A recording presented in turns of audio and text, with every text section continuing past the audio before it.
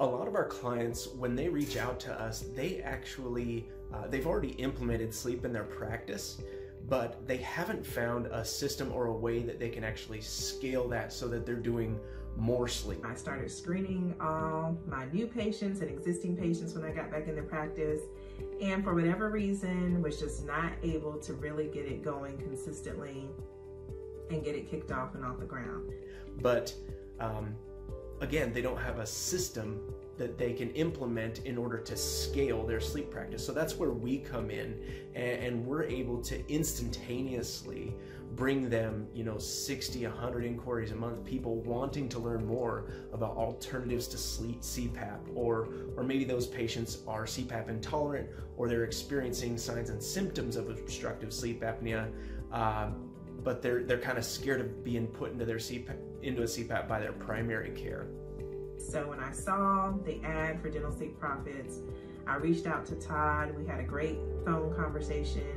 The vibe I got from Todd was great. He just was very sincere, genuine, honest, transparent.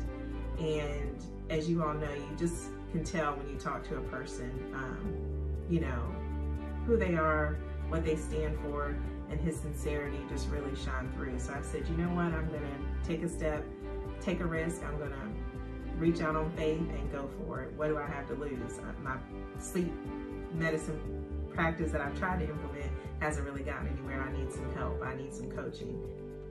Now, one of the things that, that we've seen with our system is that it gives our clients a lot more leverage going into those discussions if they're trying to build out a referral network in the community with physicians like ENTs, pulmonologists, etc.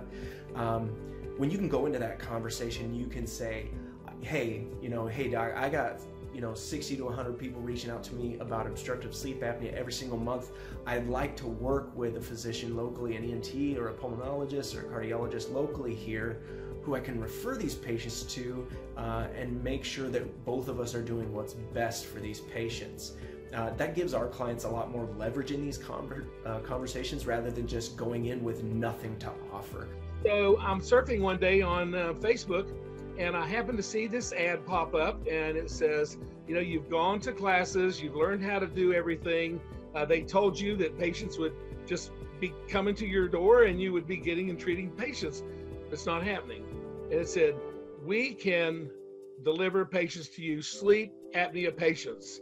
And it was your company. And yeah. so I gave you a call and we hit it off. I liked what you had to say. You were honest with me and um, we started working together and been doing it been doing it ever since you know we've had clients who have only produced one maybe one to three appliances annually uh, closed on those cases and, and, within their first month month and a half uh, they've closed between eight and ten appliances and it really really is uh, just amazing to see how quickly you can scale a sleep, sleep practice when you're getting the right message in front of the right people at the right time. And that really is the key.